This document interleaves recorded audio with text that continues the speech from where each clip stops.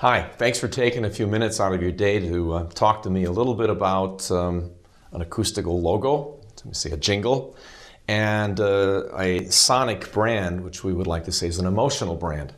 Now, what's the difference between music logos, which is basically a couple of notes put together in a certain order, um, and emotional branding? I would say it's something that if 100% of the time, less than 60% of the people are interest, interested less than 40% of what we do. No one's getting up in the morning saying, hey, I want to hear those jingles.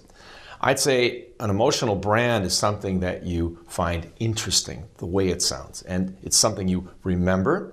And if you remember it, you place a value on it. And it's that value that our listeners place on that logo, makes them feel a certain way. That's the brand. So when considering a package, it's important not to find a composer who writes the four notes or five notes, or the musician who plays them, but finding an interpreter, someone who understands the musical psychology, and putting that together in a construction, as we say, an interpretation, that um, um, allows for um, an emotional brand to take place time and time again and to basically be able to keep it fresh. Hope that's um, helpful to you in some way, and um, best of wishes to you with your emotional brand.